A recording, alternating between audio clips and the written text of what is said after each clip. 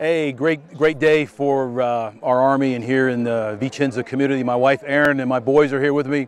It's an absolutely great opportunity for uh, myself and my wife to join this great community and we look forward to our time here.